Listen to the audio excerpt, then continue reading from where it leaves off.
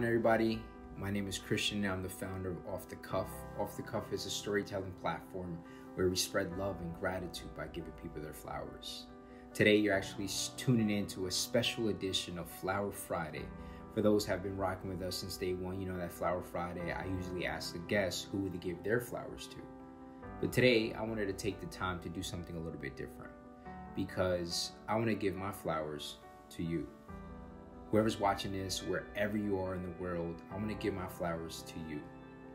Because not only do you deserve them, but because as you reflect and we head into the new year, there's probably things that you thought you couldn't overcome, but you did. And there's probably certain times where you wanted to give up, you wanted to throw in a towel, but you didn't. So I want to give my flowers to you for persevering, for showing up, and for being your true, authentic self always. Never give up on your dreams. If I can inspire one person, let that one person inspire one other person. And let's never ever forget to give people their flowers.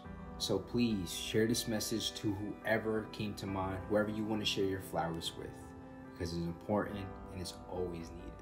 Thank you for your support and many blessings come the new year.